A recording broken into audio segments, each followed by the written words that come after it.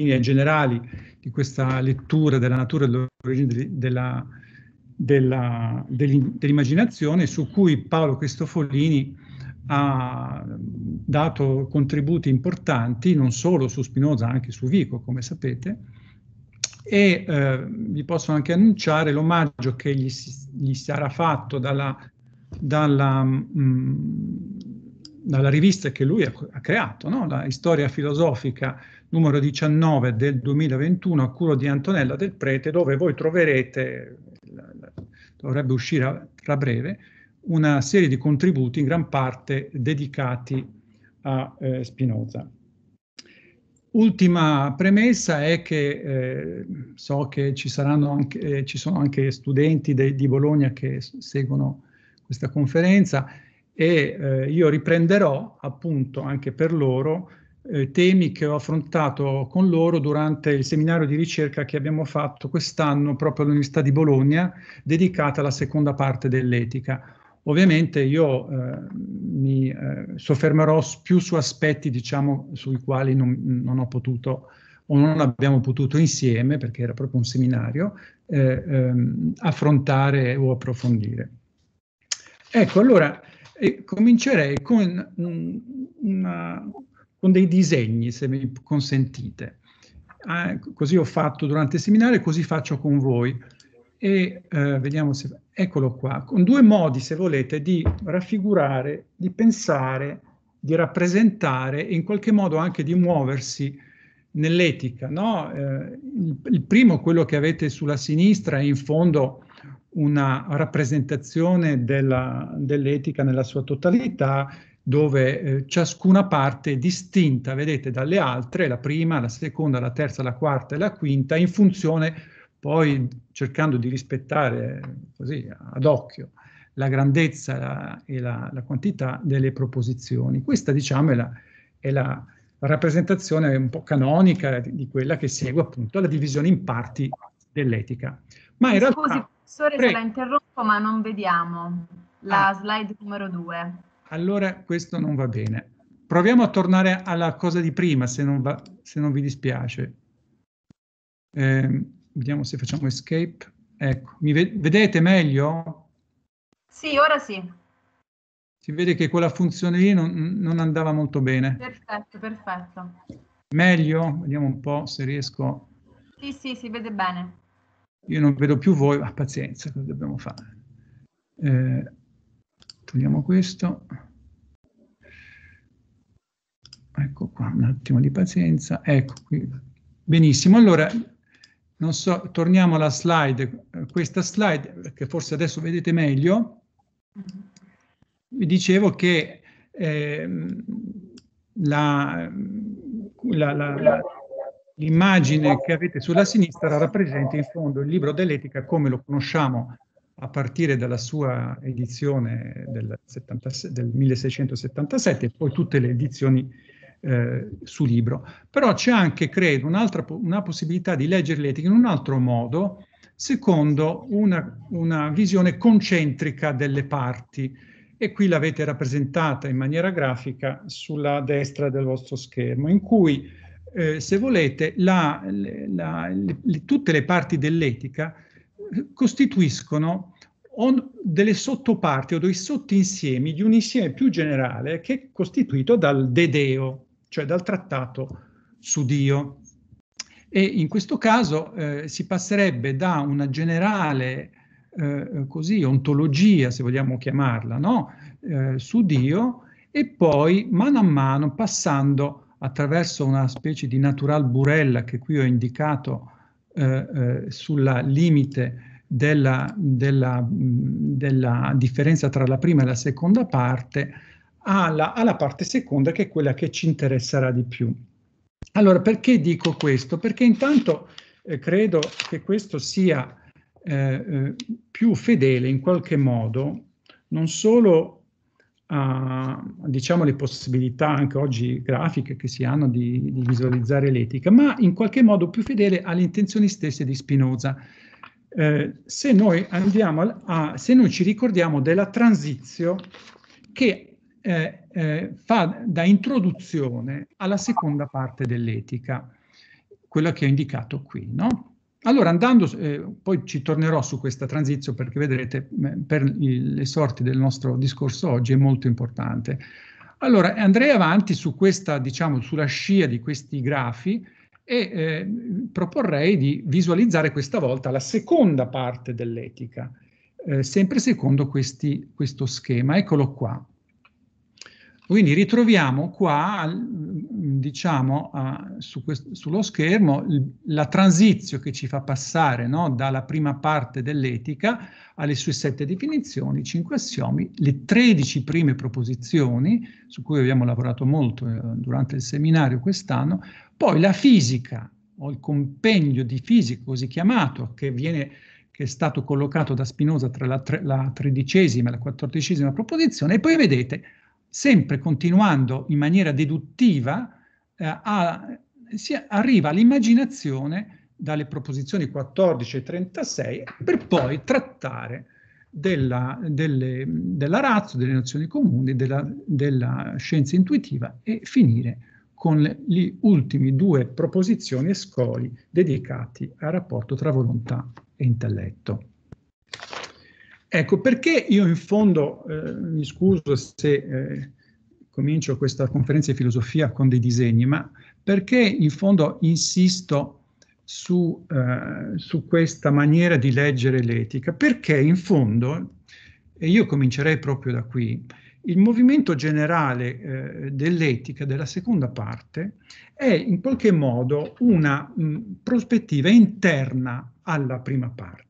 Perché dico questo? Perché Spinoza nella, eh, nella trans famosa transizione no, di cui vi ho appena accennato, avverte il lettore gli dice la, la cosa seguente. Passo ora a spiegare le cose che hanno dovuto seguire necessariamente dall'essenza di Dio, ossia dall'ente eterno ed infinito. Non tutte però.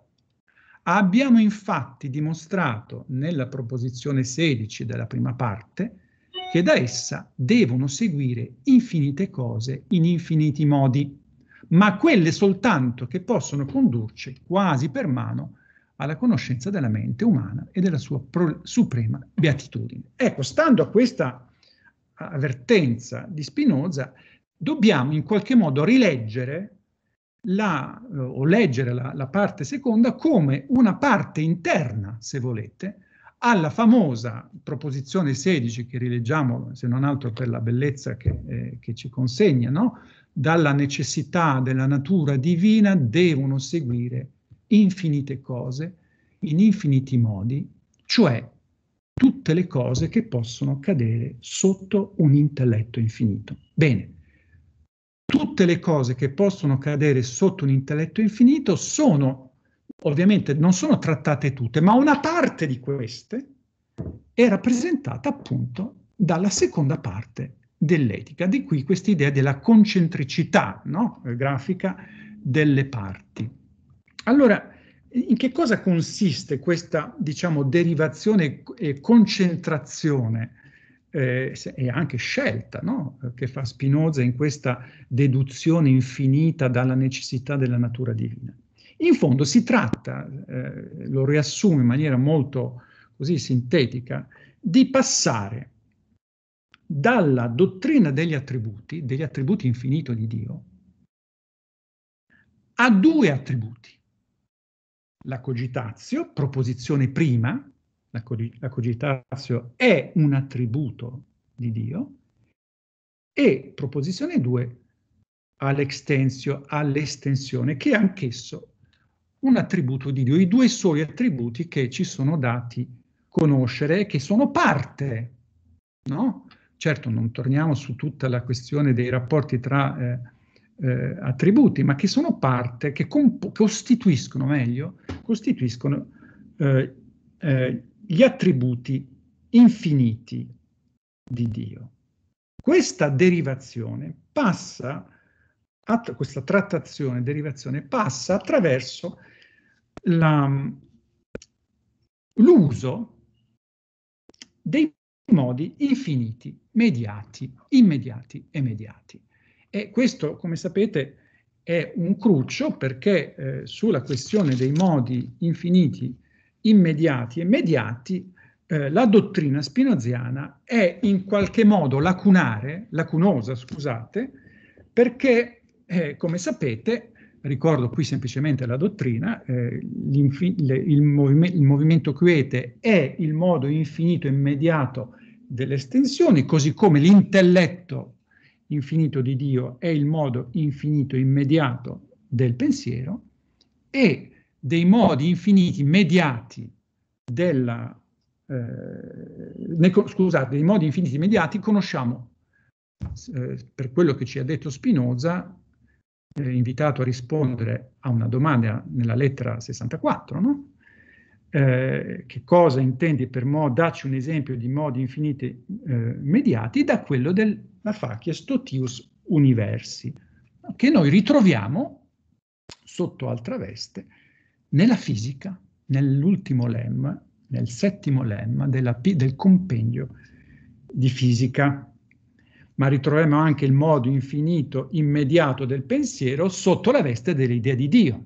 No? Rileggiamo, se rileggete le, le, prime proposizioni della seconda parte dell'etica, ecco che eh, eh, compare sotto altro nome l'idea di Dio, cioè l'intelletto infinito di Dio. Bene, questi passaggi, se mi permettete questa parola, ammesso che siano passaggi, ci devono portare a pensare, a dedurre in qualche modo i modi finiti, i modi finiti del pensiero, cioè le menti, e i modi finiti dell'estensione, cioè i corpi. Questo è il movimento di tutta la seconda parte dell'etica, no? E non lo dico solo io, ma eh, c'è unanimità nel dire, nel, nel constatare che questo movimento che, che compie almeno la prima parte della seconda parte dell'etica, no? della natura e origine della mente, almeno le prime 13 proposizioni, hanno qualcosa di vertiginoso e per questo forse anche affascinante, ma anche difficile e oscuro, per non dire a volte problematico questo passare dall'infinità degli, degli attributi attraverso, vedremo, gli, infiniti, eh, i modi infiniti, immediati e immediati, verso i modi finiti e le loro idee. E ricordo che eh, questa, la mente concepita come idea del corpo, proposizione 13, poi sarà affrontata in sede di immaginazione come l'idea dell'affezione del corpo.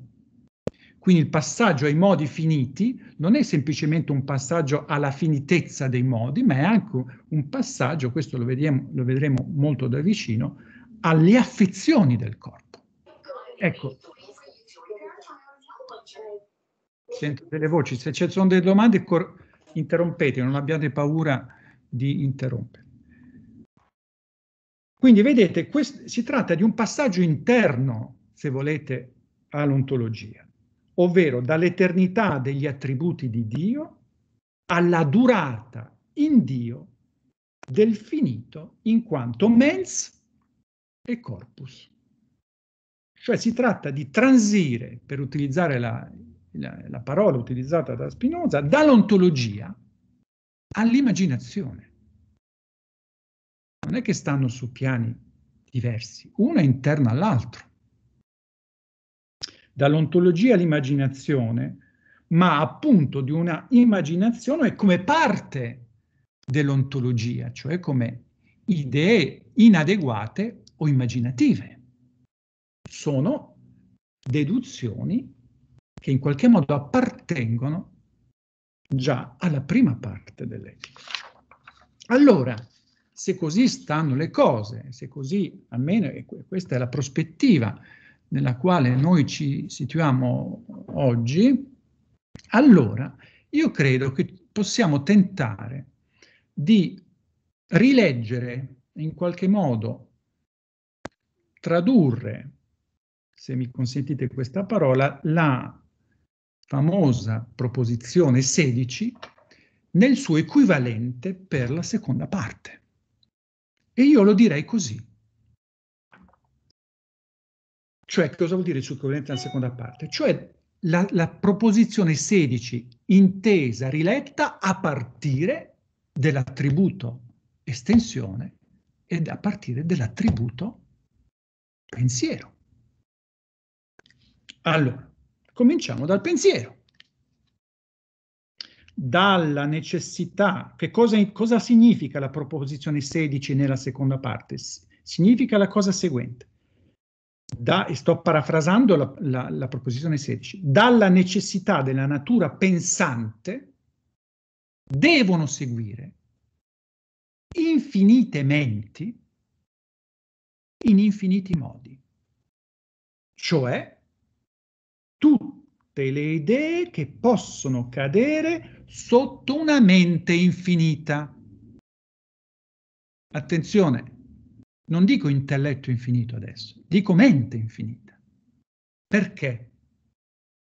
Perché secondo me lo dobbiamo dire, in questo, in questo, su questo io concordo con Filippo Mignini, cioè sull'idea della necessità logica, sistemica dello spinozismo di nominare il modo infinito, mediato del pensiero, che come sapete Spinoza non cita, non ce ne dice nulla, ma eh, ci deve essere l'equivalente nell'attributo pensiero del modo infinito mediato dell'estensione, cioè dell'individuo, di tutti gli individui che compongono l'universo.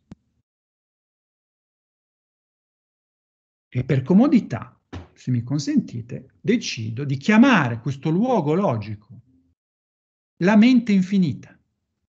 Perché non l'intelletto? Che è il modo infinito immediato del pensiero. Perché? Perché la mente infinita deve constare, deve essere costituita non solo dalle idee adeguate, ma deve essere composta, essere costituita anche da tutte le idee inadeguate, che non sono fuori dal pensiero divino, sono dentro. Capite? Quindi la mente infinita di Dio non è un'altra cosa dall'intelletto, ma è la sua piega mediata, è la sua espressione mediata.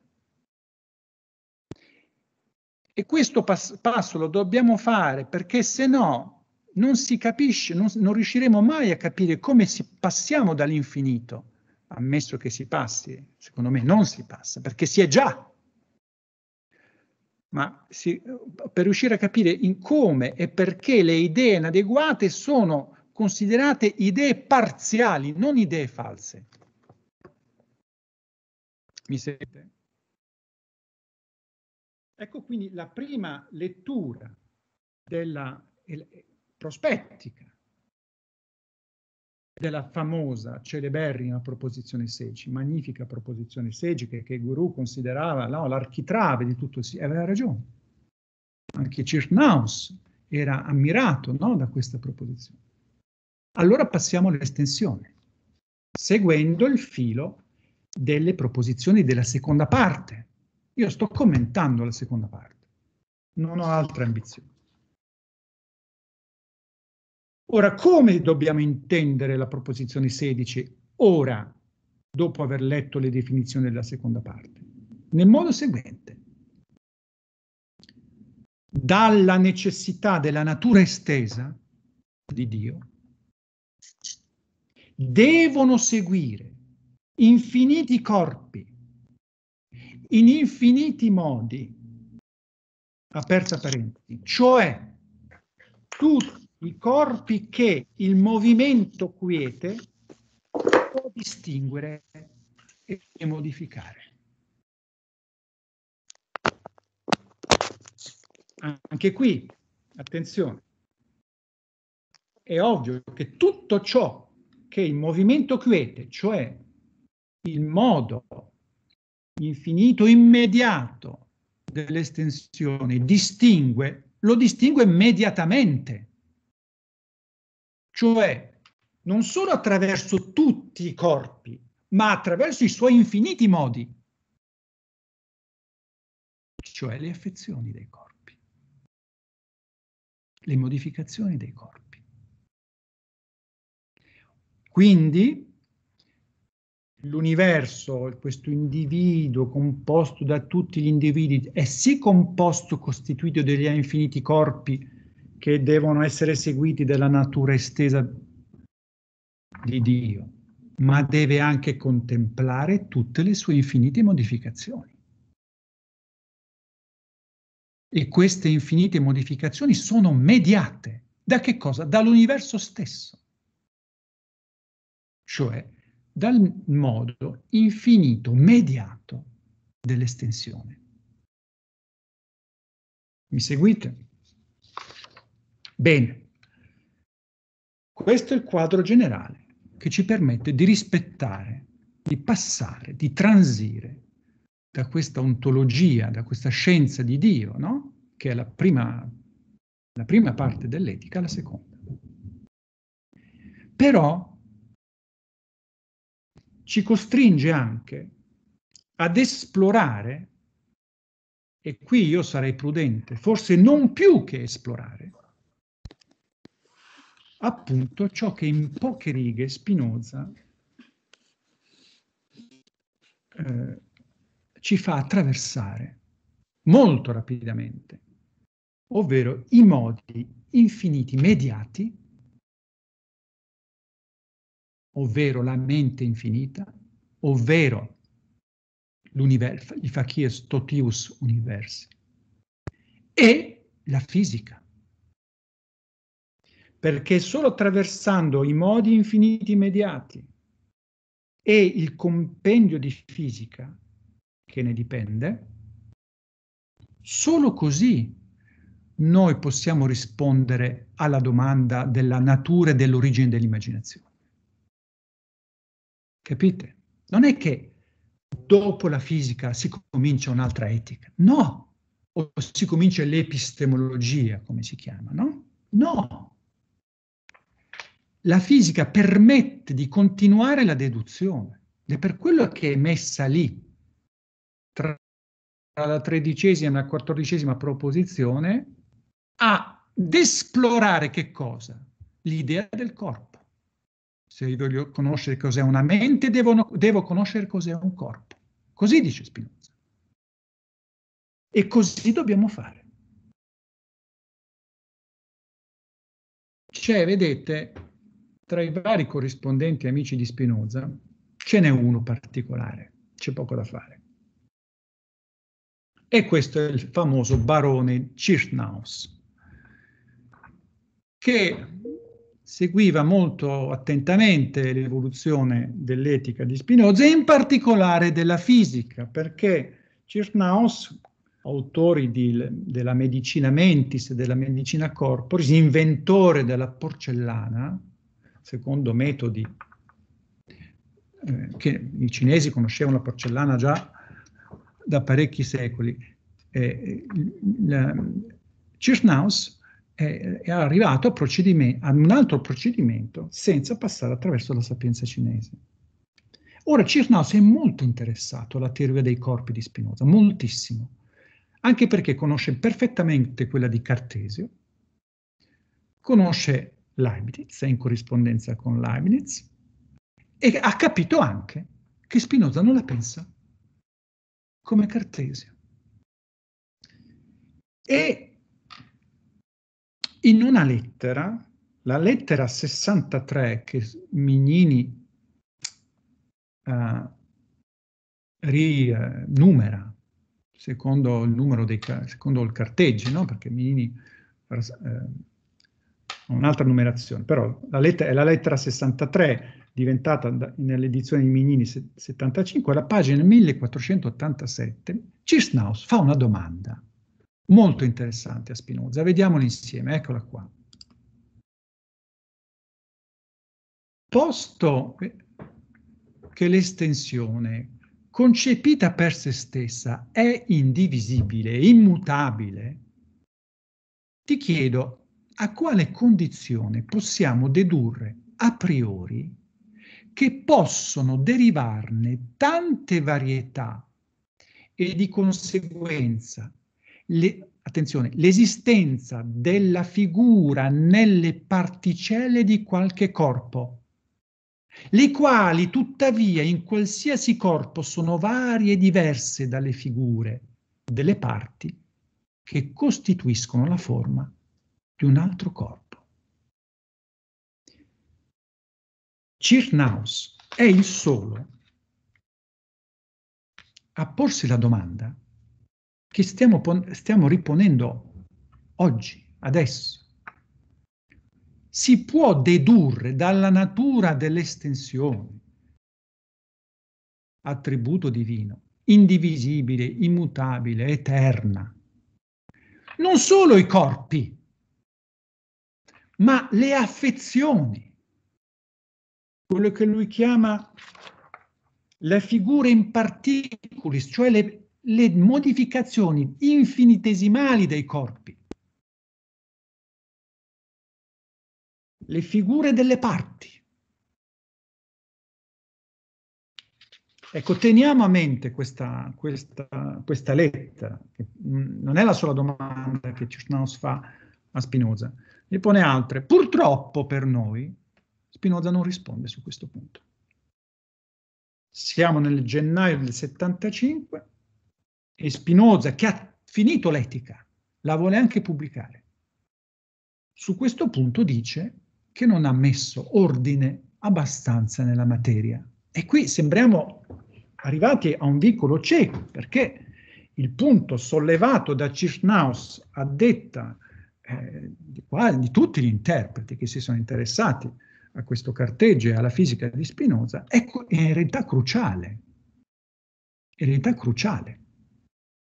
Perché dal dettaglio dei, come passo dal dettaglio dei corpi, derivandolo dall'estensione infinita dell'attributo.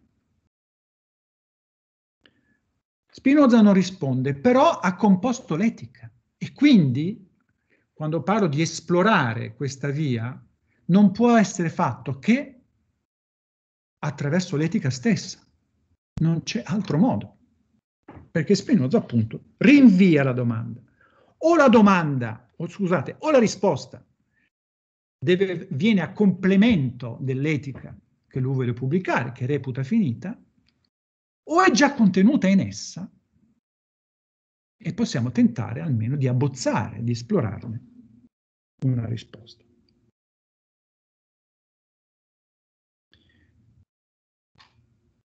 Se così è, allora siamo in qualche modo costretti, vedete, a seguire Spinoza nell'etica, come a dire, a seguire a traccia questa questione non lo, ovviamente non lo dico così gratuitamente. Perché? Perché l'immaginazione è la prima determinazione della natura e dell'origine della mente stessa. Capite? L'immaginazione è la prima determinazione della natura e dell'origine della mente è la prima risposta che Spinoza dà al titolo della seconda parte dell'etica. Qual è la natura della mente e qual è la sua origine? E comincia dall'immaginazione. Cosa vuol dire che l'immaginazione è la prima determinazione della natura e dell'origine della mente? Da qui il titolo no, che ho dato a, alla conferenza. Lo è in quanto questa, l'immaginazione, segue l'ordine comune delle connessioni del corpo. Capite? Ed è questa la via che si tratta di seguire. Di un'immaginazione come parte della natura e dell'origine della mente, in quanto questa segue l'ordine comune delle connessioni del corpo. Ma per fare questo dobbiamo veramente rinunciare a, come dire, una propensione naturale che eh, abbiamo tutti, io compreso, eh, ovviamente anche commentatori, interpreti, rinunciare a una prospettiva, primo, antropocentrica sulla conoscenza e sull'immaginazione. L'immaginazione non è una facoltà della mente, non è una parte della mente umana, è un modo di produrre idee. E questo alla luce della famosa proposizione 7, no? dell'ordine della connessione delle idee, che è la medesima cosa che l'ordine e la connessione delle cose. L'immaginazione è parte di questa connessione, non sta da un'altra parte. E come parte di questa connessione non è una facoltà di una certa specie di viventi che chiamiamo uomini. Certo, gli uomini immaginano, questo sicuramente, ma come concatenazione di idee, di affezione di corpi, dobbiamo generalizzare l'immaginazione come un certo tipo di concatenazione.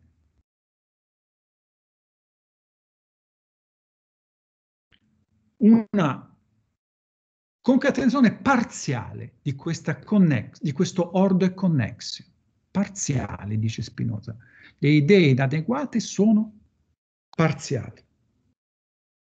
E perché lo possiamo affermare con certezza? E perché dobbiamo assolutamente, credo, abbandonare una prospettiva antropocentrica, una prospettiva trascendentalistica sulla conoscenza, ovvero che la causa di, di un'idea è sempre un'altra idea e mai il suo ideato di un altro attributo. In questo senso non c'è nessuna forma di empirismo in Spinoza. La causa di un'idea non è il suo ideato, è un'altra idea, così come la causa di un corpo è un altro corpo. Quindi bisogna, la, la difficoltà è cambiare proprio di prospettiva, no? eh, nel modo di concepire l'immaginazione, il primo genere di conoscenza, come viene chiamato. Perché lo possiamo fare e lo dobbiamo fare? Beh, io qui la risposta è, se volete, ancora logico-ontologica ed è contenuta in un'altra, in altro luogo della seconda parte dell'etica, cruciale. Lo era per Gherù, addirittura Gherù ne fa eh, come dire, uno dei capisaldi di tutta l'etica, eppure si tratta semplicemente di un corollario. Corollario 11 della seconda parte che dice le cose seguenti. Famosissimo, no? Da ciò segue che la mente umana è parte dell'intelletto infinito di Dio, perciò quando diciamo che la mente umana percepisce questo o quello, non diciamo altro se non che Dio, non in quanto è infinito, ma in quanto si esplica mediante la natura della mente umana, ossia in quanto costituisce l'essenza della mente umana, ha questa o quella idea.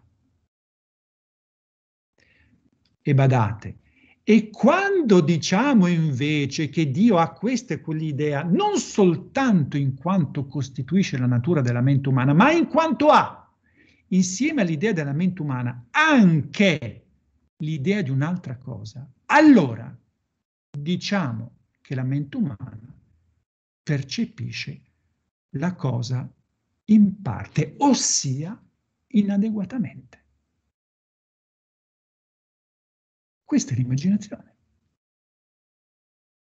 L'immaginazione contenuta in quella che noi abbiamo chiamato la mente infinita di Dio in quanto pensa la nostra più un'altra cosa. Rinunciare alla prospettiva antropologica, e vedremo che lo dobbiamo fare, vuol dire applicare questa logica a tutti gli enti pensanti. E tutti gli enti sono più o meno pensanti per Spinoza, tutti animati, come dice nello scoglio della proposizione 13, cioè poco dopo.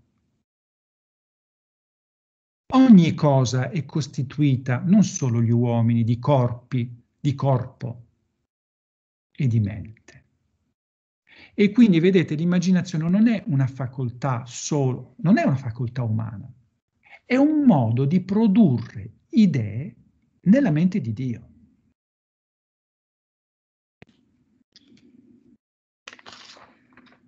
Allora,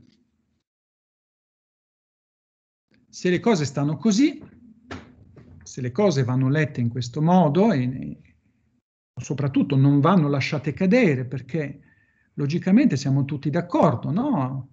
Abbiamo capito che l'immanentismo è questo, che la mente umana non è un'altra cosa dalla mente di Dio, che il nostro intelletto non è un'altra cosa. La stessa idea adeguata che noi produciamo, che la mente umana produce, è la stessa idea che l'intelletto di Dio produce.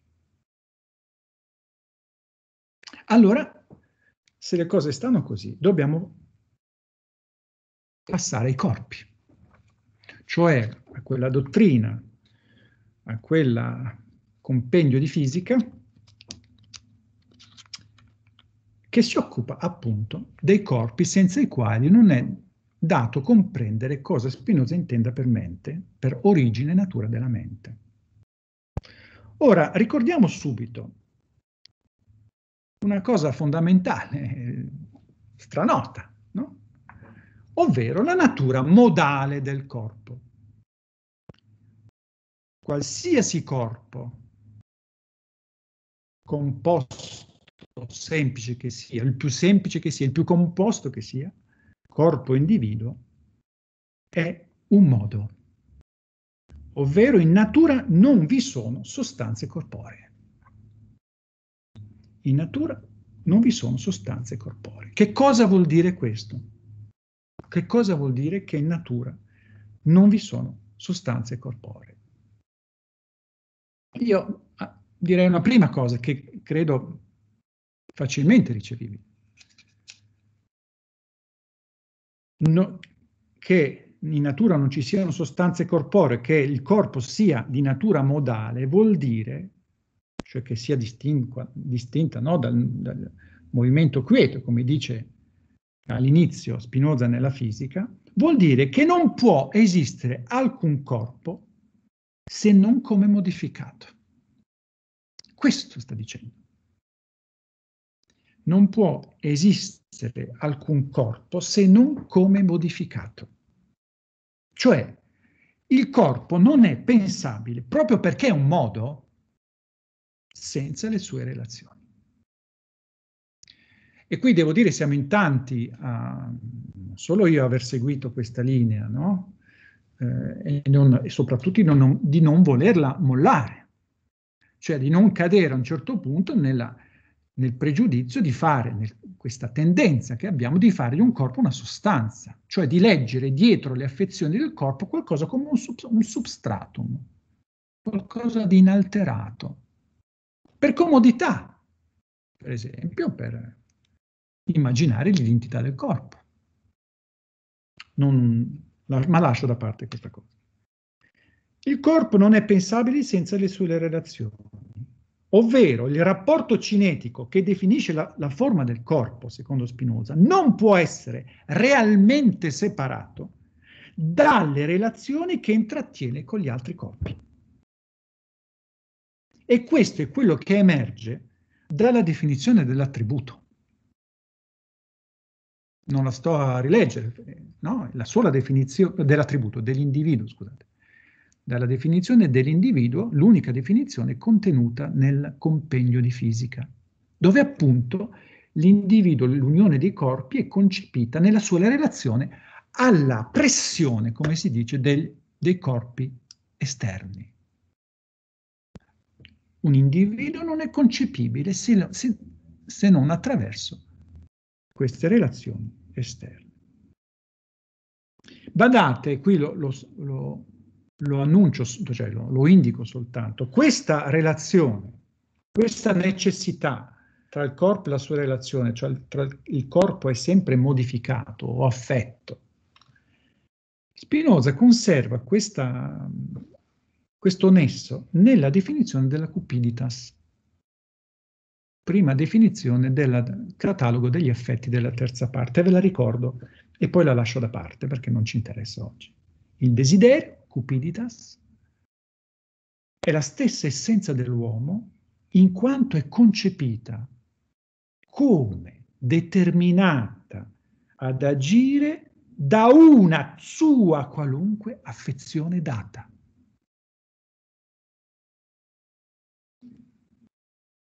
Cosa vuol dire? Quindi capire questa definizione vuol dire anche lì non essere tentati di fare del desiderio e del conatus una piccola monade, una piccola sostanza.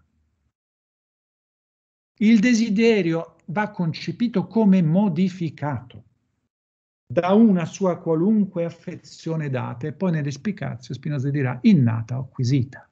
Poco importa.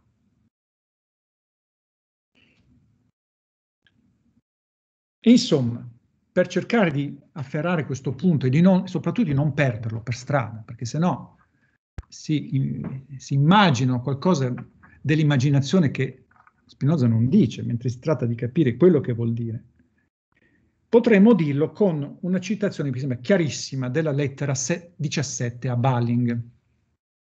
Ogni corpo, scrive Spinoza, in quanto è modificato in un certo modo,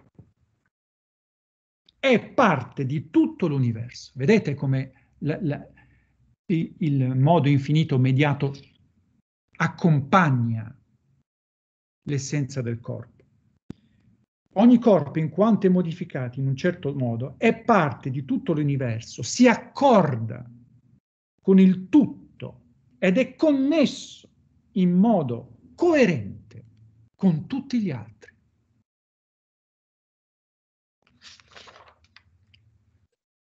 Quindi che cosa vuol dire? Che, dicevo, non può esistere alcun corpo se non modificato. Vuol dire che il corpo non è il supporto o il substratum di affezioni, ma è il loro rapporto stesso. È il loro rapporto stesso. Quello che Spinoza chiama costituzio la costituzione, l'ingenium, altre volte la fabbrica. E poi ci torniamo su questo aspetto. Il corpo non è il supporto di affezione, ma il loro rapporto stesso. E se non è così, torniamo a sostantificare, a rendere sostanza ciò che non è. Il corpo è modo, cioè affezione, cioè affezione di affezione. C'è poco da fare. Non c'è niente da fare. Il corpo è un'affezione, un modo, mo, per modum intendo affezione e substanze, per modo intendo le affezioni e la sostanza, ma questo stesso modo, corporalmente inteso, è affezione di affezioni, concatenazione di affezioni. Vedete che stiamo avvicinando, non ci siamo ancora, ma ci stiamo dirigendo verso quello che sarà l'immaginazione. Ma andiamo avanti, non, non, non, non è sufficiente, dobbiamo il, esplorare, come dicevo, innanzi questa questione, la modalità del corpo. Che cosa vuol dire che il corpo è un'affezione di affezione? Vuol dire che è un modo modificato, modificante non è uno star lì che aspetta di essere modificato, no, è l'azione stessa, la capacità stessa di essere modificato e di modificare altri corpi. È una potenza il corpo per Spinoza, capite? Non è un ente, è una potenza di essere affetto e di afficere, modificare.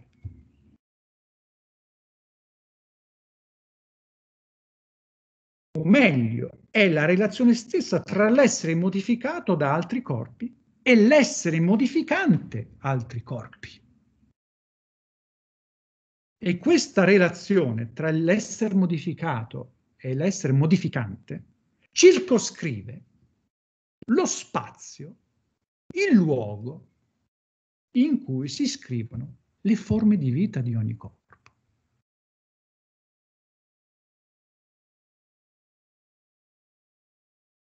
Chi ha letto nella fisica i fondamenti della politica aveva ragione.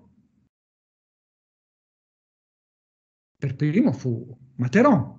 Materon ha aperto la via. Ma questa via si apre e non si chiude solo se concepiamo il corpo come questa potenza di essere affetto e di afficere, di modificare. Allora, se le cose, le cose stanno così, e credo che debbano stare così, a meno di tornare a immaginare corpi, corpuscoli, no? E poi trovare le, le varie relazioni tra i vari corpi. No, questo non è la fisica di Spinoza. Allora, dobbiamo porci un'altra domanda. Cioè l'accezione corporea dell'affexio. L'affexio nella sua accezione corporea, che cos'è? Questa è la, la questione che vorrei porre oggi. L'affezione, affexio, cioè il modo, nella sua accezione corporea, come corpo, che cos'è? Ecco, io credo che a questa domanda si possa rispondere in modo in questo modo. L'affezione del corpo è proprio ciò che Spinoza chiama vestigium, traccia.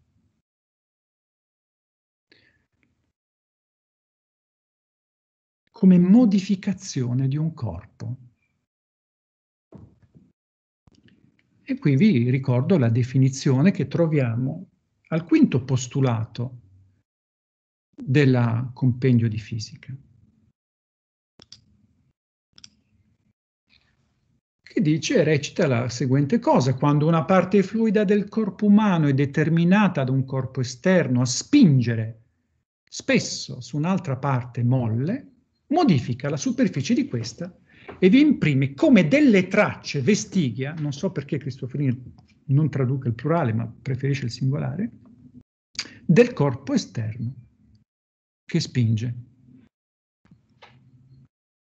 Questa è la traccia, questa è l'affezione, la modificazione del corpo. Allora, vedete che in questa definizione, importante, io direi importantissima, perché su questa definizione viene costruita la dottrina dell'immaginazione. Se voi togliete dalla fisica spinoziana il postulato 5, crolla ogni tentativo di costruire geneticamente la nozione di immagine e quindi non potete accedere all'idea dell'immagine come affezione del corpo. E quindi la, la, deduzione si ferma. Si ferma già con la proposizione 16, badate. Quindi la sua importanza eh, non è poco, tant'è che io eh, eh, sarei dell'idea di considerare la, le vestighe, il vestigium, come una nozione comune della fisica, come una nozione comune della fisica di Spinoza, non una questione di dettaglio.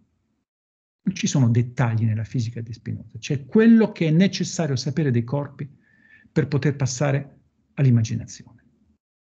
E questo sicuramente è un punto cruciale. E Badate, vedete, questa mm, eh, definizione, questo postulato, fa concorrere tre nozioni sulle quali adesso dobbiamo spendere due parole. Quella di fluidità, quella di mollezza, e a cui noi aggiungiamo quella di durizia, quella di durezza. E questo lo può fare perché Spinoza aveva dato un assioma prima di, di questo postulato, l'assioma famoso assioma 3, che spesso viene un po' letto così, en passant, diciamolo chiaramente, soprattutto tutti coloro che si sono interessati soprattutto alla fisica astratta di Spinoza e poco alla fisica concreta, eh, pensando giustamente che Spinoza avesse pochissimo eh, sperimentato eh, nella sua vita eh, fisica concreta. Lui si interessava ai prolegomeni, ad ogni fisica ben pensata, ma non era un fisico come lo poteva essere Cirnaus, Huygens o Boyle, no? Almeno, certamente era un ottico, ma non conduceva esperimenti. Magari li guardava, pare che a Leda andasse a eh, seguire di, le dissezioni dei cadaveri, ma lui stesso non praticava una fisica concreta. Quanto maggiori o minori sono le superfici con le quali le parti di un individuo di un corpo composto aderiscono l'una all'altra, tanto più difficilmente o facilmente possono essere costrette a mutare posizione e di conseguenza tanto più difficilmente o facilmente può accadere che lo stesso individuo assuma un'altra figura. Quindi chiamerò duri i corpi le cui parti aderiscono l'una all'altra per grandi superfici, molli invece quelli le cui parti aderiscono per piccole superfici e fluidi invece quelli che le cui parti si muovono l'una rispetto all'altra. Bene. Detto questo, badate che l'assioma terzo è posto in una posizione molto interessante nella piccola fisica, perché fa da spartiacque tra i corpi semplicissimi e i corpi composti. Ovvero subito dopo la definizione dell'individuo di cui vi ho parlato, ricordato prima. prima. E questa è, è cruciale, importante, perché? perché permette di pensare due cose fondamentali. Uno, la diversità di natura degli individui. Ricordate la domanda di, di Cirnaus. Ma come puoi tu dedurre a priori dall'estensione? La, la varietà dei corpi e delle loro nature. Ora, questa triade duro, molle, e fluido permette di pensare la natura degli individui, ma soprattutto la natura, come mo, la natura di questi corpi, come modo di regolare rapporti, relazioni. E questo adesso lo vediamo meglio.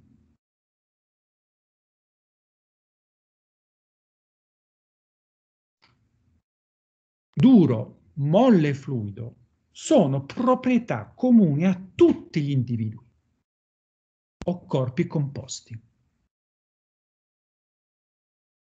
Così come le tracce, di cui abbiamo letto la definizione, i, vesti i vestigia, sono nozioni comuni a corpi, vedremo, non solo umani, e questo è molto facile dimostrare.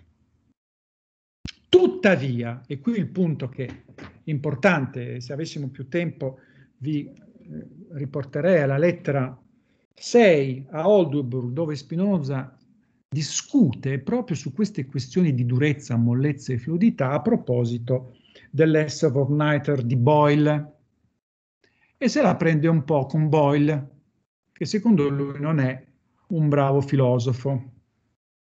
Perché non è un bravo filosofo? Perché durizia, mollizia e fluiditas non sono summa genera della fisica, non sono nozioni comuni della fisica in senso astratto. Cosa vuol dire?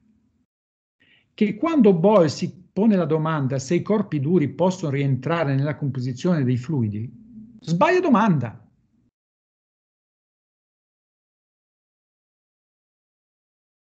Perché prende per reali quello che sono delle qualità de relative dei corpi non sono summa genera, sono proprietà relative dei corpi, ovvero non caratterizzano la natura in sé di un corpo, o meglio, nessun corpo è in sé duro, molle o fluido, ma durus, mollis, fluidis sono nozioni relative, più o meno duro, più o meno molle, più o meno fluido. E questo è importante perché permette di, permette di distinguere la fisica dalla fisiologia. Da un punto di vista fisico, le ossa in sé non sono più dure di quanto lo siano in sé i muscoli o il sangue, mentre lo sono da un punto di vista fisiologico, nel qual quadro questa differenza di natura ha valore. Solo una fisiologia, ma non nella fisica.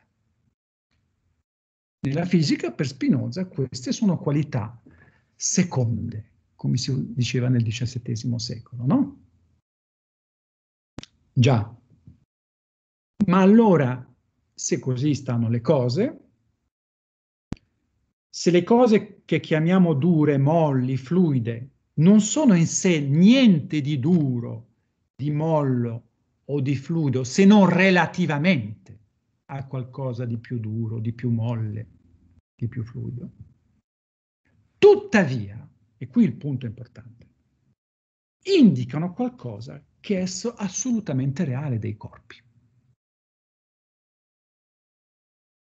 E, per que e questo per noi, devo dire, per, per oggi è molto importante. Molto importante anche e soprattutto per capire cosa si intende per natura e origine dell'immaginazione. Torniamo alla questione. Che cosa indicano di reale molle, fluido, duro? Risposta. Non questo o quel corpo, come si è provato anche a, a dire i commentatori leggendo la, la fisica di, di, Spinoza, hanno detto, vai, sta commentando Cartesio, quando parla di duro parla di ossa. No, non lo dice mai. non questo o quel corpo, non questo o quell'organo, ma un certo modo di determinare, un certo modo, scusate, determinato di regolare rapporti tra i corpi. Questo indicano queste nozioni, un certo modo determinato di regolare i rapporti tra i corpi, o se preferite, differenze tracciabili tra nature. Differenze tracciabili tra nature. Non a caso queste nozioni intervengono proprio per forgiare la, la nozione di traccia, di vestigium. Quindi, se durizia, mollizia, fluiditas sono proprietà tutti i corpi di tutti i corpi composti relativamente ai loro rapporti e non ad una fittizia natura che li precede. Questo significa che natura e relazioni si determinano insieme e che la loro determinazione è unica. Infinitamente piccolo, microfisica, e infinitamente grande, macrofisica o cosmologia si determinano a priori insieme come aveva intuito Cirnaus. Bene, se questo è, è chiaro, se la mollezza, la durezza e la fluidità non sono cose in sé dei corpi, ma determinano relazioni tra i corpi, allora che cos'è la mollezza? Spinoza non lo dice mai, ma dobbiamo, dobbiamo poterlo dire, dobbiamo poterlo capire. Come caratterizzare quello che lui chiama mollizia? Allora, se, diciamolo così, se in assoluto, proprio per la relatività stessa delle nozioni di durezza, mollezza e fluidità, tutti gli individui possono essere considerati più o meno molli, e certo, se è relativo, lo sono tutti più o meno, a secondo delle relazioni. Allora, per mollizia, intenderemo la capacità di un individuo ad essere tracciato, la capacità di un corpo ad essere tracciato. Questa è la mollezza, non è altro che questo perché non è un, un, un genere sommo della fisica, ma una nozione che sta lì ad indicare come si rapportano i corpi tra di loro. La molizia è la capacità di un individuo ad essere tracciato. E la durizia che cos'è? E beh, la durizia sarà la capacità minore, ovvero la più grande resistenza dei corpi ad essere tracciati. Capacità che gli conferisce quella di conservare tracce, nonché di tracciare corpi meno duri. Rimane la fluiditas, che sarà la capacità maggiore di ricevere tracce e la minore di conservarle. Capacità che gli conferisce quelle di trasmettere tracce ad altri corpi. Basta rileggere il postulato 5 per convincersene. Conclusione su questo punto. La proprietà generale di tutti i corpi composti, di tutti gli individui, è quella di essere più o meno tracciabili e traccianti e aggiungerei anche rintracciabili ovviamente, attraverso una fisica concreta, che ha bisogno di tracce, io aggiungerei, ha bisogno di immaginazione per cogliere i corpi che studia. E allo stesso modo va intesa la differenza tra figura e vestigium. Anche qui si tratta meno di differenza di natura, quanto di una differenza di gradi. La figura dei corpi, le, perdura, scusate, le figure dei corpi possono essere considerate alla stregua di grandi tracce e reciprocamente le tracce come delle piccole figure, le piccole figure di cui parlava Schirnaus. Bene, se possiamo allora andare avanti. Io, quel tempo che mi rimane, che non è molto, mi concentrerei proprio su questa nozione di traccia, che mi sembra essere il punto focale su cui concentrarsi per rispondere, alla, cominciare a rispondere alla questione della natura dell'origine dell'immaginazione.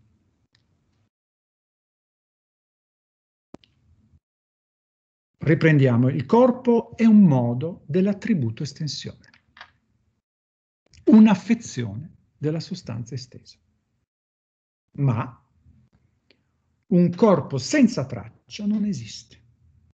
Un corpo senza affezioni non esiste.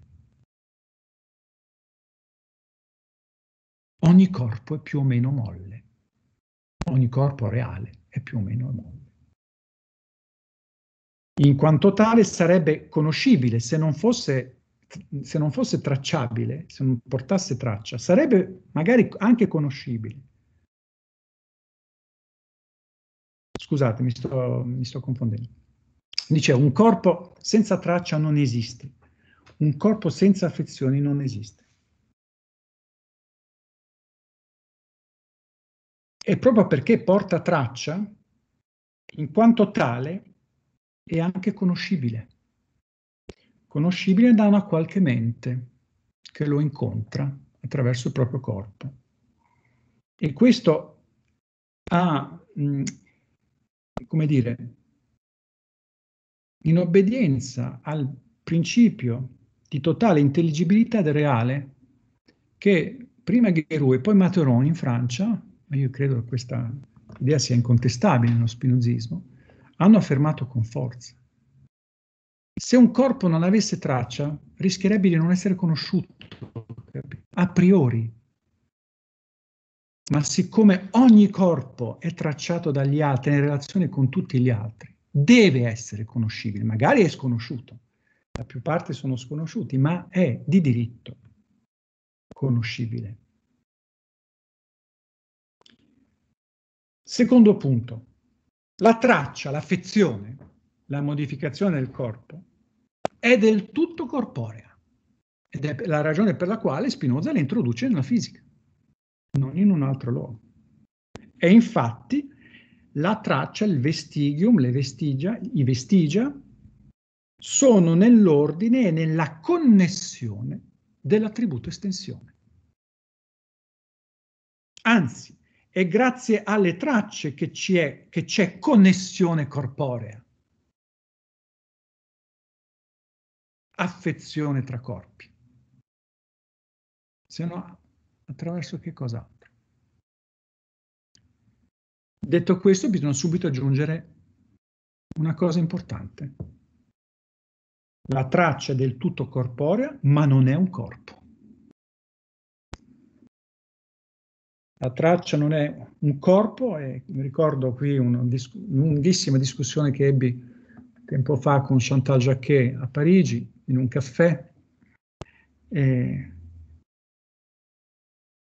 non, riusciva a... non eravamo d'accordo su questo punto. No? Pensava che le tracce erano dei corpi sottilissimi, forse facendo di Spinoza un epicureo, un materialista epicureo.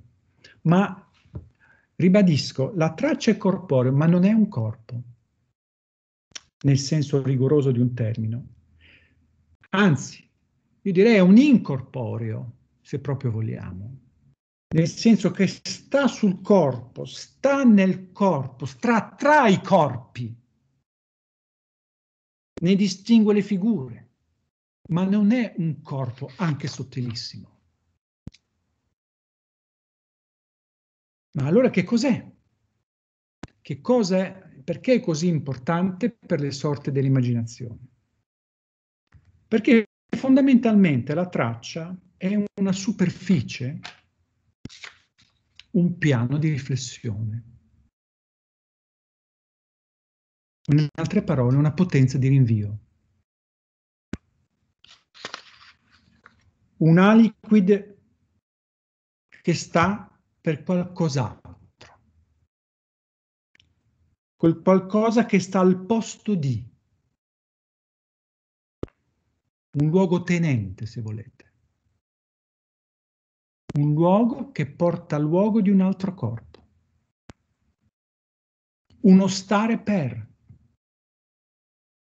Un corpo B in un altro corpo A. Un concavo per un convesso un dentro per un fuori, una presenza per un'assenza. Adesso ci vediamo su questi punti. E quindi anche un presente per un passato. E quindi anche un futuro. Un futuro come passato che ritorna, ovviamente. E su questa logica si costruisce l'immaginazione, ovvero la memoria, che è poi la stessa cosa memoria, immaginazione. Allora, se mi consentite, se ho ancora cinque minuti, posso Ludovica? Eh, prego, quanto vuole. No, non voglio tediare nessuno. Allora, vi propongo questo, un altro disegnino. Scusatemi, gli studenti che mi seguono oggi sono abituati. Allora, questo è diciamo, in modo di raffigurare, per cercare di capire esattamente le specificità dell'essenza della traccia, no? di cui abbiamo detto in fondo è una superficie, un piano di rinvio. Qui avete il corpo A, il corpo che ha affetto modificato dal corpo B, vedete? Che gli lascia traccia. La traccia è questa che ho chiamato E, qui questo in rosso che vedete, lasciata da B su A, e C è il corpo fluido che permette di trasmettere, dice Spinoza, queste tracce.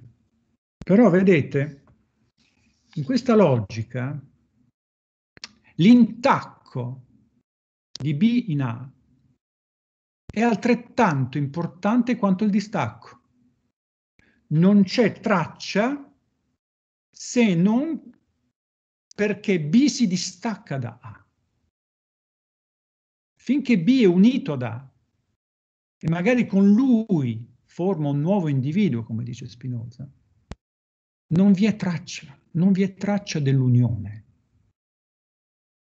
Un'unione non ha traccia di sé. La traccia è, è ciò che rimane della separazione. Quindi all'intacco ci vuole il distacco, alla pressione del corpo esterno ci vuole l'allontanamento, la distanza, il distacco. Ma questo fa sì che il corpo come modo, come modo, come affezione di affezione, abbiamo detto, va considerato come un situs vestigiorum, come un luogo di tracce. Questo in fondo è il corpo.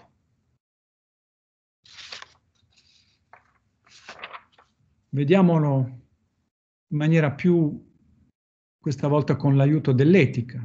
Questo è un disegno che non trovate nell'etica, che ho fatto per voi per cercare di capire questa logica del mollo, il corpo A che è intaccato dal corpo più duro o meno mollo.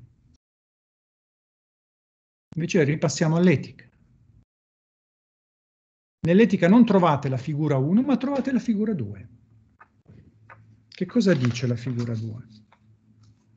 Quando un corpo mosso urta contro un altro corpo che è inquiete e che non può smuovere, torna indietro per continuare a muoversi e l'angolo formato dalla linea del movimento di riflessione con il piano del corpo inquiete, contro il quale è urtato, sarà uguale all'angolo formato dalla linea del movimento di incidenza con lo stesso piano. E Spinoza termina questa, questo assioma 2 per questo, per quanto concerne i corpi semplicissimi che si distinguono rispettivamente soltanto per il movimento e la quiete, la velocità e la lentezza. Passiamo ora ai corpi composti. Eccoli i corpi composti. Eccoli qua, figura 1. I corpi molli, i corpi reali, i corpi non rettificati dalla geometria, i corpi non idealizzati, dalla geometria, non rettificati dalla durezza della geometria. Quindi questi due disegni, figura 1 e figura 2, in realtà dicono la stessa cosa. La figura 2 è la regola della figura 1. La figura 2 è la regola della figura 1. La regola astratta di una fisica concreta che la figura 1 rappresenta, la traccia.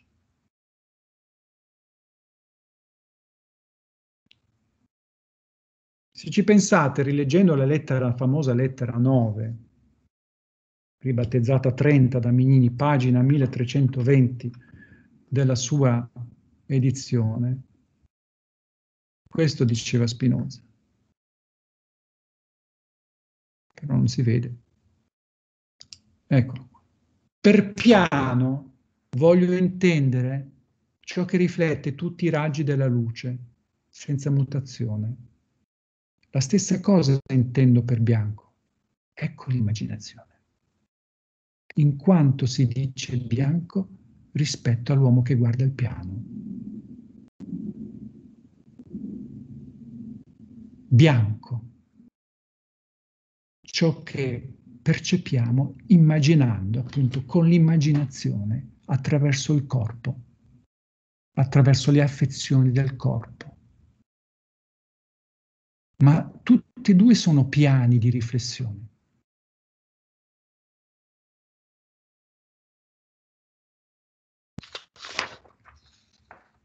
Quindi, e ho finito, incorporeo del corpo la traccia è la marca dell'essere finito del corpo, ovviamente. Ecco perché parlavo di passaggio, no? Deduzione dall'infinitezza dell'estensione alla finitezza dei corpi. L'incorporeo del corpo, incorporeo nel corpo, la traccia, è la marca del suo essere finito. Dell'infinito, infatti, non vi può essere traccia così come della sostanza e della differenza degli attributi, non vi può essere segno, diceva Spinoza, nello scoglio della proposizione 10 della prima parte.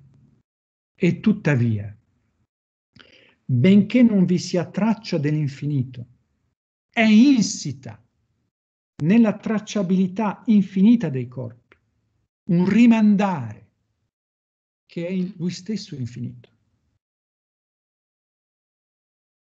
E che cos'è questo rimandare infinito se non il modo infinito mediato dell'estensione stessa, che noi immaginiamo come una serie, ovviamente, ma le serie non esistono. Siamo noi che le immaginiamo, l'ordine, la connessione delle idee, delle cose come delle serie. Così le immaginava Leibniz.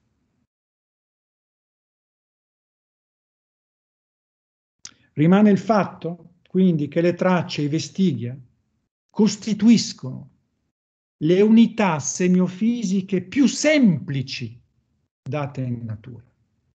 Questo è importante. Le tracce, i vestiglia, costituiscono le unità semiofisiche più semplici date in natura.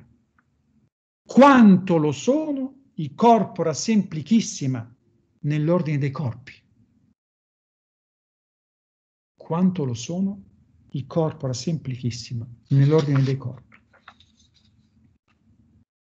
Allora finirei, se mi consentite, ancora 30 secondi, con due domande.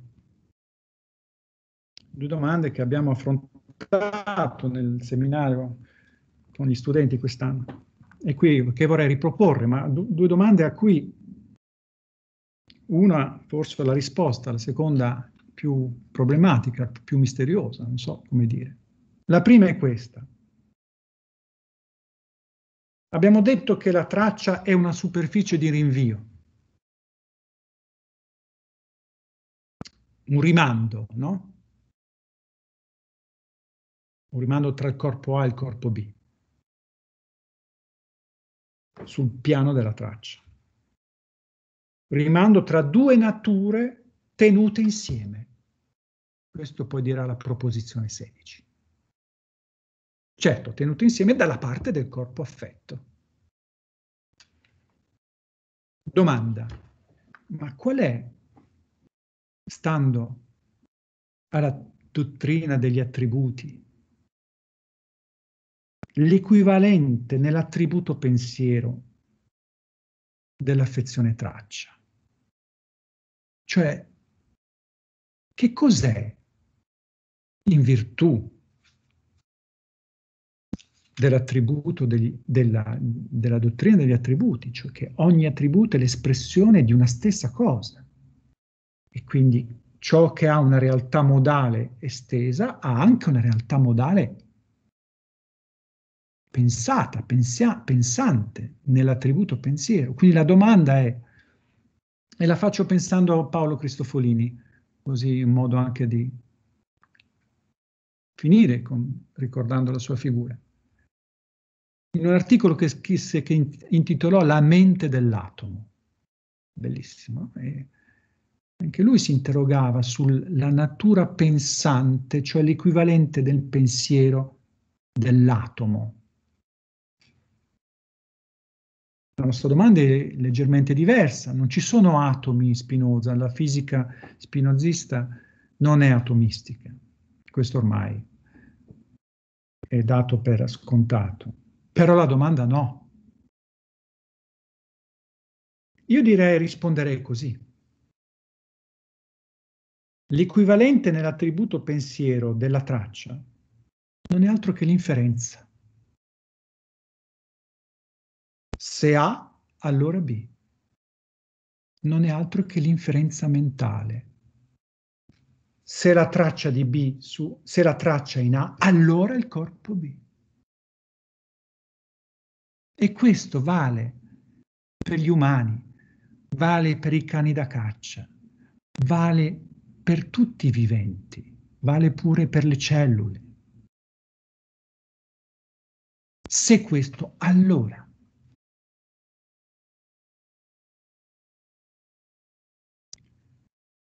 Se A allora B, cioè l'inferenza o la potenza di afferm- che è la potenza stessa di affermazione dell'idea.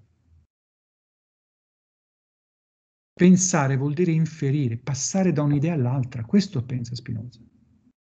E questa è una potenza. E così sembra dire nel paragrafo 78 del trattato dell'intelletto del trattato dell'emendazione dell'intelletto, scusate, paragrafo 78, quando Spinoza fa quell'esperienza di pensiero e si chiede ma che cos'è un'idea considerata in sé sola? Andate a rileggere questo paragrafino, no? Che cos'è un'idea considerata in sé sola? Cioè cos'è la natura dell'idea? E lui risponde è una sensazione. L'idea in sé sola considerata è una sensazione. Ciò che Spinoza dice anche nell'etica, badate, proprio delle immaginazioni, cioè delle idee inadeguate o parziali. Le idee delle affezioni in quanto si riferiscono alla sola mente umana sono, dice Spinoza, nella dimostrazione della proposizione 28 della seconda parte, siamo in pieno nell'immaginazione, dice sono come conseguenze senza premesse. Conseguenze di cui ignoriamo la premessa, non che non ci sono le premesse, ma le ignoriamo. Inferenze di cui non conosciamo l'idea di cui è di cui sono, da cui sono causate. E lo dirà di nuovo in questo senso nella dimostrazione della proposizione 23 della prima parte, quando dice concludi sive percepi. Percepi, essere, percep, essere percepito, percepito vuol dire essere concluso, Percepire vuol dire concludere, passare da una premessa a una conclusione. Questa è l'inferenza, questa è la natura, se volete, pensante della traccia.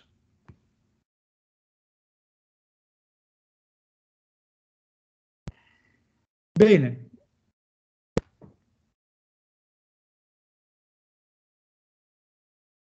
spero di aver mostrato no? come, perché noi dobbiamo considerare l'immaginazione come una parte della mente infinita di Dio, secondo la logica che è stata data nel corollario della proposizione 11. Non è una, l'immaginazione non è, ribadisco, una facoltà della mente umana, è semplicemente un funzionamento, una, un certo tipo di connessione parziale, ma questa parzialità appartiene al piano immanente della mente infinita di Dio. E allora avevo detto una seconda domanda a cui, a cui non rispondo, ma la, che la lascio lì per finire. Se non ci fosse immaginazione, mettiamo che siamo puri intelletti, angeli vaganti nell'intelletto di Dio. Facciamo questa esperienza di pensiero. Se non ci fosse immaginazione, se non ci fossero idee inadeguate, ci sarebbero ancora corpi finiti. Ecco. Vi ringrazio, scusate per la No, grazie a lei. la lunghezza. È stato veramente molto interessante. E se per lei va bene, aprirei alla parte delle domande. Preferisce che le raccogliamo o che facciamo intervenire uno più? No, no, no, no, preferenze. Allora, io ne avrei una, mm, diciamo, per aprire le danze eh, rispetto anche a queste ultime note che faceva, cioè in particolare rispetto al rapporto fra immaginazione e contingenza, no? che per Spinoza diciamo, la lettura ehm, comune di Spinoza è che appunto non vi sia contingenza nel suo sistema, però eh, potremmo intendere come contingenti gli stessi corpi, gli stessi modi finiti che non sono sostanza. E eh, rispetto al fatto, lei ha detto se non ci, fosse se non ci fossero idee inadeguate poco fa, eh, ci sarebbero i, i, modi finiti, se ho capito bene, e vorrei, vorrei, sapere dal suo punto di vista come colloca la questione della contingenza in rapporto al suo discorso sull'immaginazione. Allora, guardi, eh, la contingenza in Spinoza, mh, mm, prima prima della quarta parte, non interviene.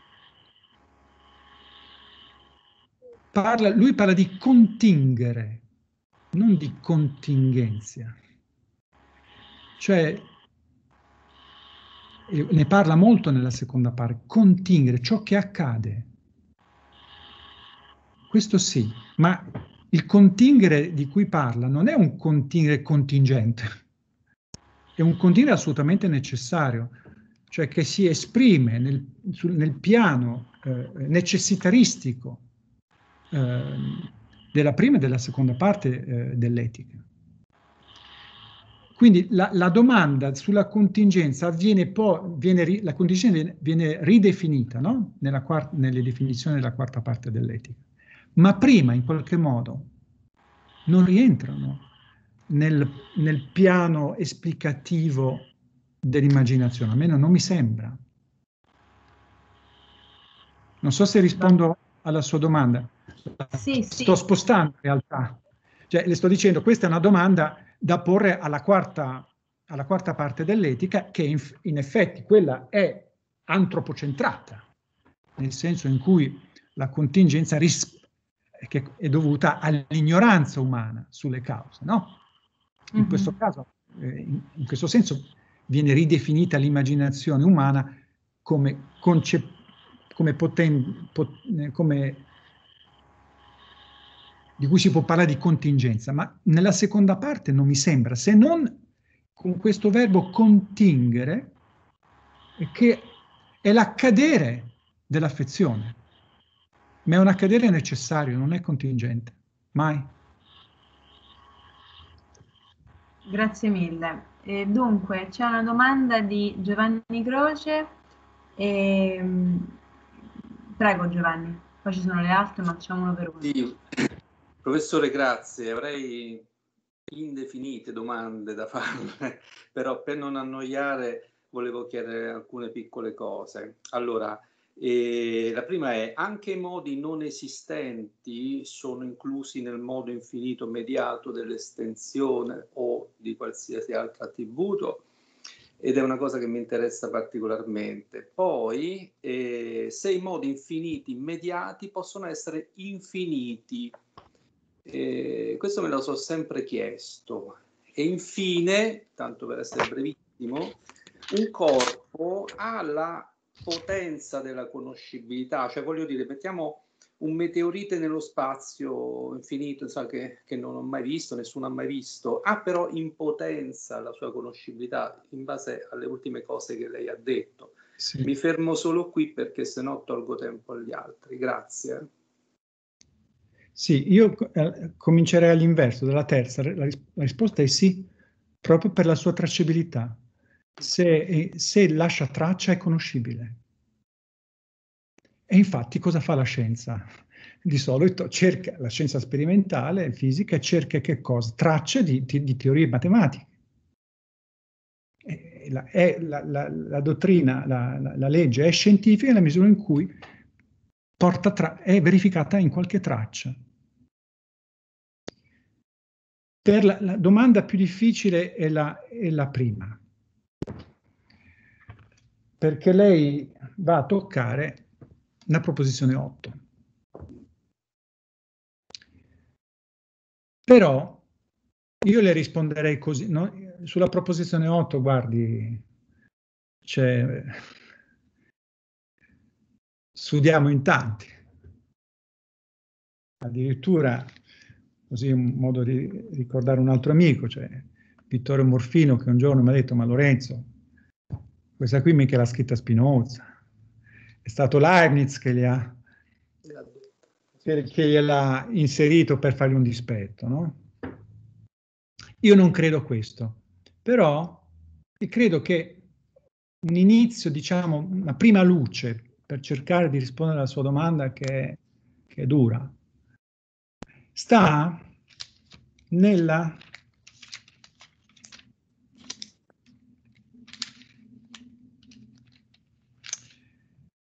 nello scoglio, ma non nell'esempio matematico che lui dà, paradossalmente. Perché l'esempio matematico che lui dà, tutto sommato, è abbastanza chiaro. Ma in quello che dice appena prima, quindi ricordo eh, la, la, la, proposizione che lei ha in mente, no? Le idee delle cose singole, ossia dei modi non esistenti, devono essere comprese nelle idee infinite di Dio come le essenze formali delle cose singole, ossia dei modi sono contenuti negli attributi di Dio.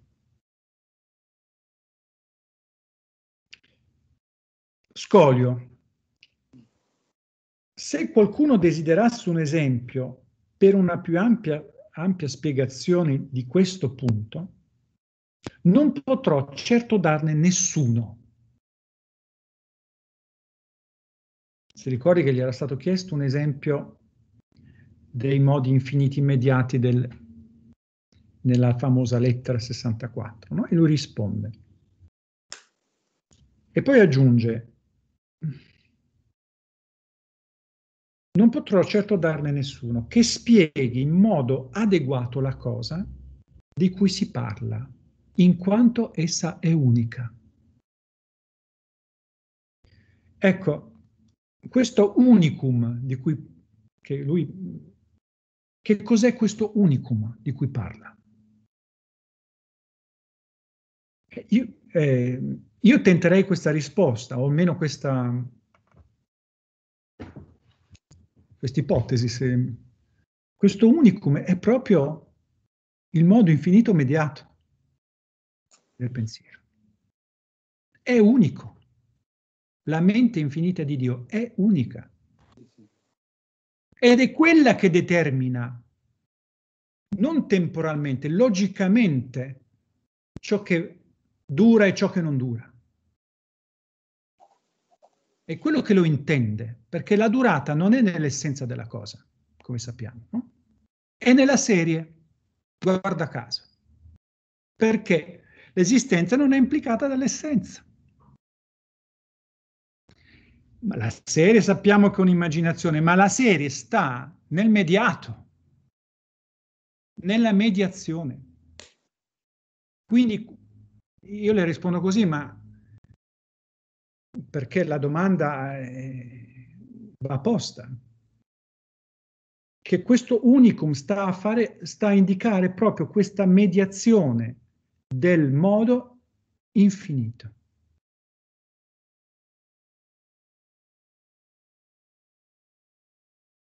e che effettivamente è unico. Per Spinoza è anche ab eterno. È unico e infinito nello stesso, nello stesso modo, perché è valido per ogni, per ogni contingere. Ecco, il contingere è unico, ma è anche infinito. Siamo noi che lo temporalizziamo, no? siamo noi che lo Leibnizian, gli facciamo Leibniz di questo non esistente. Ma in Dio non c'è tempo, non c'è durata.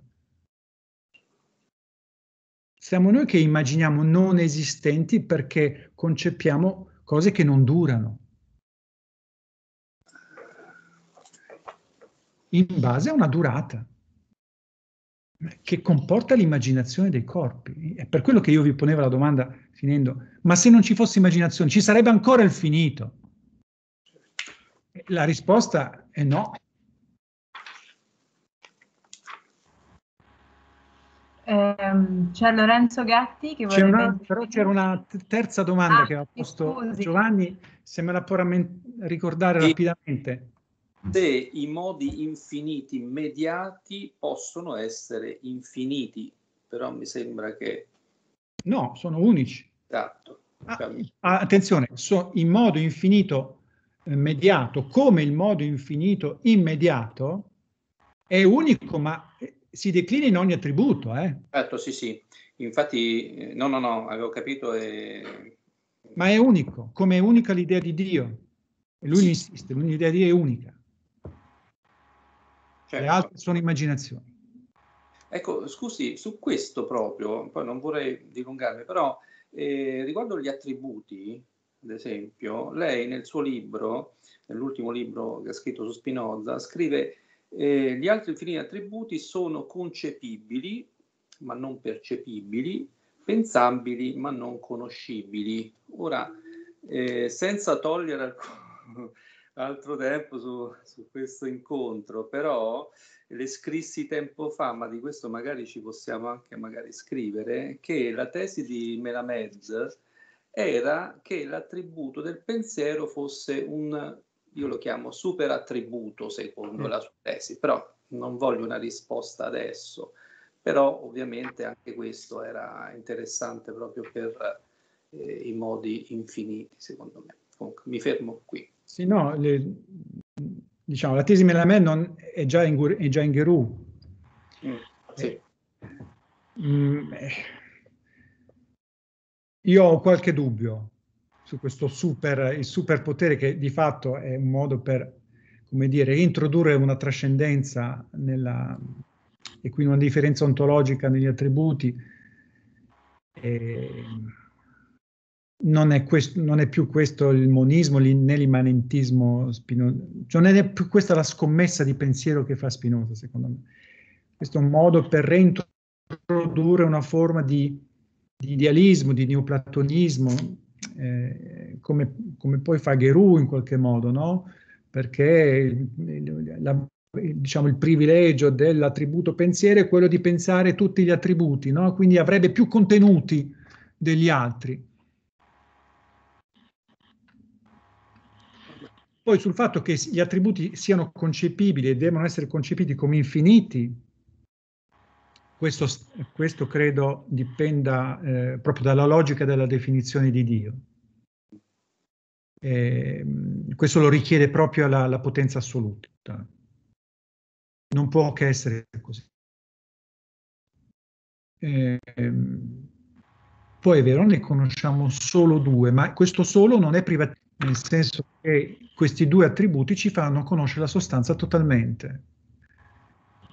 E, e quindi lei ha ragione di andarmi a cercare, no? Diceva che fa anche, sta rimettendo Kant in Spinoza, facendo diciamo della sostanza qualcosa di pensabile, non conoscibile. Eh, in realtà non è, non è così perché è una differenza indifferente. Spinoza se noi conoscessimo altri attributi di Dio, non, non, questo non aggiungerebbe nulla a quello che conosciamo eh, del pensiero e del, del, del, così come una super intelligenza no? eh, extraterrestre non, non, non, porterebbe nulla di filosoficamente rilevante rispetto a quello che eh, rispetto alla potenza eh, della mente umana non è che una, una super intelligenza aggiungerebbe qualcosa di essenziale. Bene, grazie. Lorenzo Gatti. Prego. Ah. Prego. Eh, io seguo sempre molto volentieri il professor Vinci Guerra e dunque ne, ne approfitto per più che altro per una curiosità e probabilmente una comune sensibilità rispetto alla dimensione visiva che mh, mm, si nota sempre leggendo Spinoza. E volevo chiedergli questo appunto, se eh, questo passaggio a un certo punto si sa che Spinoza ha sperimentato, come dire, varie modalità di esposizione delle, eh, del suo pensiero, insomma, nel trattato della, dell'emendazione dell'intelletto prima, anche sotto forma qualche, di qualche dialogo persino, con dei tentativi anche di, eh, di abbozzi di, di, sistema geometrico nel, nel breve trattato. alla fine raggiunge questa perfetta eh, cosa che poi noi appunto cerchiamo di visualizzare perché c'è questo more geometrico che poi è un ordo geometrico per, per taluni, ma comunque sia ha un effetto indeniabile su non solo coloro che frequentano diciamo, le arti visive come eh, ci può essere per, per chi è sensibile alla geometria, ma anche per chi legge, il lettore stesso si trova coinvolto nell'oggetto libro. Dunque c'è un supporto fisico nel libro stesso e nel come si offre al lettore nella sua, come dire, partizione dei, dei vari... Io mi sono divertito a contare le varie partizioni che la, la, la, tipografia aveva in qualche modo lasciato sul testo e ho contato 615 partizioni, intese proprio come la separazione dalla parte scritta dalla parte bianca della pagina. Per quello mi piace moltissimo il riferimento che fa Lorenzo eh, che, mh, a, a, alla lettera di eh, Simone de Vries, perché è proprio eh, l'esempio che mi ha toccato moltissimo eh, nel, nel mettere la definizione in questi due rapporti, cioè praticamente si definisce piano ciò che riflette diciamo, la luce, dunque sottinteso l'interezza di ciò che viene riflesso, però lo si chiama, lo si definisce bianco per noi che lo guardiamo questo piano. E così la pagina, la pagina noi prima che fosse in qualche modo ferita o mh, colpita dal, dal tipografo era bianca, ma era semplicemente un bianco indifferenziato, una specie di bianco neutro. Dal momento in cui, lo sappiamo perché lo dice Roland Barthes, dal momento in cui si ha una divisione, si ha, una, si ha senso, ecco, il senso appare quel momento lì, e il bianco in qualche modo si differenzia. E dunque abbiamo 615 partizioni, ma abbiamo anche tra ogni partizione dei bianchi e tutti quei bianchi non hanno lo stesso peso. Cioè io dopo che ho letto i primi capitoli o le prime proposizioni dell'etica, soprattutto a prima lettura, quando le letture si moltiplicano è chiaro che c'è una tracciabilità anche del bianco che si fa, per cui alla fine questo bianco non è più tale, ma c'è nel momento in cui si va avanti in questo di primo acchitto ostico testo, perché non è certo eh, spontaneamente offerto eh, al lettore, si va determinando un pensiero che modifica lo, chi legge. Per cui cosa succede? C'è quell'effetto che interessante, che ho trovato molto bello, che dicevi, eh, diceva il professor eh, Vinciguerra, di, di questo vedere la traccia non già come sostanziale ovviamente, ma, ne, ma come eh, ciò che sta per. Dunque questo aliquid per qualche cos'altro. In questo senso lo, lo, ha notato il filosofo André Scala nelle, nelle mh, prime definizioni dell'etica c'è un utilizzo da parte di Spinoza del, eh, del termine id, no? Inteligo id, intendo per attributo ciò che... Dunque quest'uso di un, eh, diciamo, pronome tendenzialmente indefinito è ciò che innesca, almeno nel mio caso, eh, la compresenza dei due momenti, cioè di questo momento diacronico di un'attesa di ciò che verrà specificato poi nel testo stesso, ma è anche ciò che indica, perché id è ciò che nel momento in cui io pronuncio questa parola eh, si confronta con lo spazio che ho davanti. Dunque è una specie di, come tutti i deitici, eh, momento di hic e nunc che determina questa partizione nel testo. E è bello che nel corollario 11 della seconda parte, quello che cita anche Zoravishvili eh, come il parlare lo spinosiano, cioè io a un certo punto, quando arrivo a quel punto della seconda parte dell'etica e entro in questa specie di linguaggio che mi costringe a pensare in un certo modo inferenziale, appunto, di Spinoza, ecco che in qualche modo, eh, mi, come dire, la mia stessa lettura del testo dell'etica comincia a cambiare, perché mi ha dati i primi strumenti. E dunque è vero, la, la, traccia deve venire per forza nella fisica che su, viene subito dopo, perché il, lo scoglio 13, eh, diciamo, eh, la proposizione 13 e il suo scoglio, sono quelli che possono subentrare una volta che inizio a parlare come si deve, diciamo, parlare lo spinoziano. Parlo lo spinoziano e posso anche godere della traccia che mi viene offerta nel libro stesso che ho sotto mano. Non so se hai... Mm, Professore, hai sentito anche questo piacere di vedere, come dire, nella, nella asciuttezza di queste proposizioni, di queste definizioni, anche uno spazio dato appunto a tutte le interpretazioni che separano due proposizioni o due dimostrazioni o una definizione e un, un assioma. C'è una specie di differenziale eh, spaziale che si, si inserisce in questo, non so se, se, se c'è una mia proiezione leibniziana o se invece è, è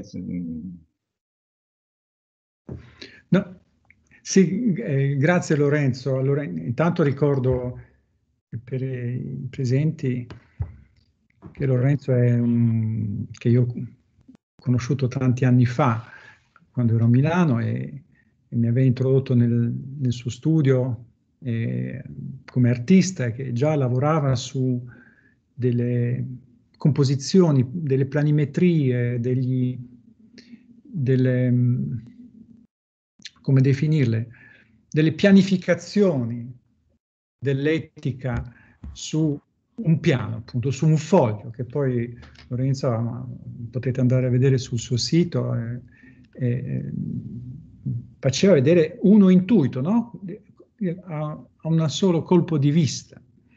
E questo mi aveva molto accomunato al suo approccio, diciamo, a, a questo tipo di pensiero.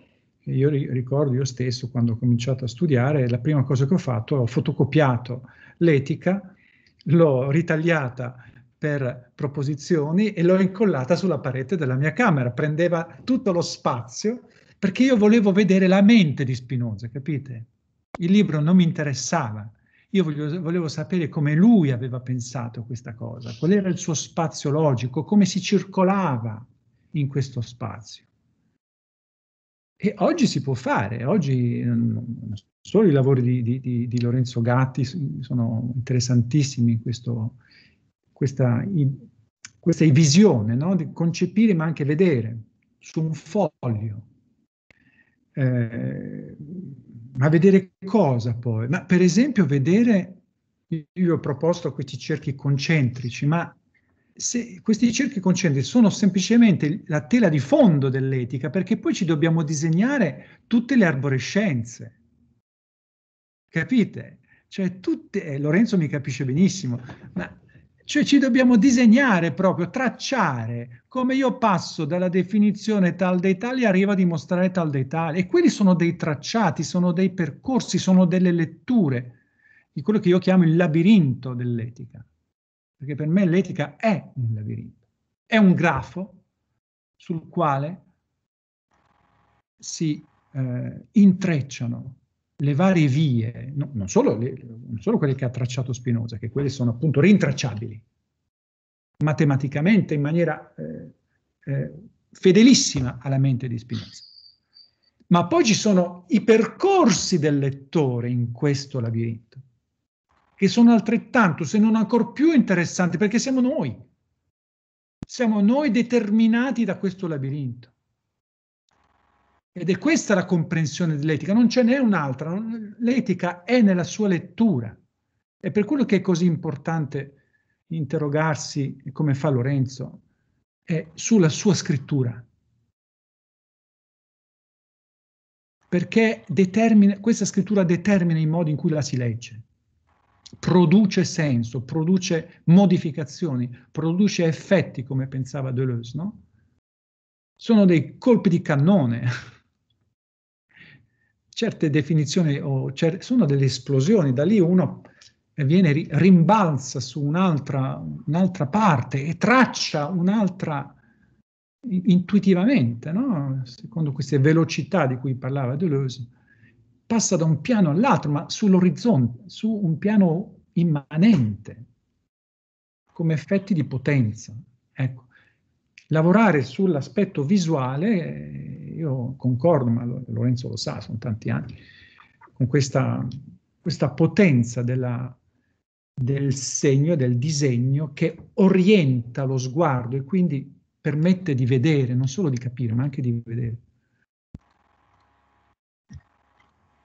Va bene, eh, la ringrazio molto. C'è una domanda eh, di, eh, sulla chat, non so se riesce a visualizzarla. Vediamo. C'è una domanda di Salvatore Simioli che chiede, professore, si potrebbe dire che se l'inferenza eh, è l'analogo nel pensiero di ciò che le tracce sono nell'estensione, questa è però l'analogo della regola geometricamente rettificata, mentre per una fisica delle idee che sia concreta, l'analogo pensante della traccia diventa la suggestione? Ai, ai, ai, non ho capito, non ho sentito tutto quello che ha detto e in più non trovo il testo. Ah, eccolo qua. Eh, le vorrei dire se l'inferenza è la nave della pensione sono nel senso questa è però la nave della regola eh, ci devo pensare glielo rispondo per iscritto perché non devo eh, veramente